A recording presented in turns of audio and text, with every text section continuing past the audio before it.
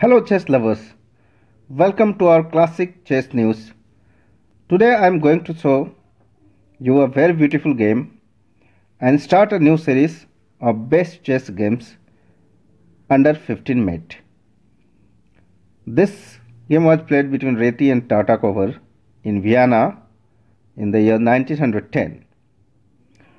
This is extremely beautiful game and you will just love it. So watch till end Reti has white pieces and he played e4, c6, d4, d6, d5, Caro-Kann defense, knight to c3, d takes e4, knight takes e4, knight f6, queen to d3, e5, d takes e5.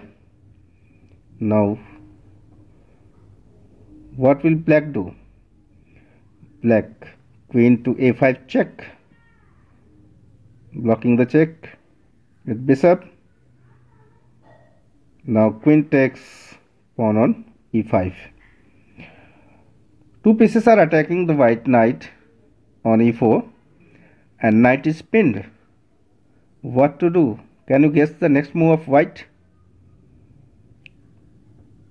Yes white castle queenside. Mm. black will have to take the free knight is it a free? Now can you guess the white next move? Queen takes knight or rook to e1 or something else. You can pause the video and think for a while choose the best move for white. I hope you have find this move. Queen to d8 check. What else to do? Kings have to take this queen. Now next move is pretty easy to guess. Bishop to g5 check and where is the king going?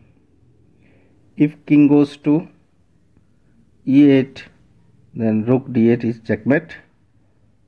So king goes to c7 again it is also a checkmate. And this game ended in only 11 moves. Hope you have enjoyed this game and I will bring the next game very soon. Uh, this will be short and beautiful as this one so please subscribe our channel to be in regular touch with us and we'll just love it. Thank you for watching.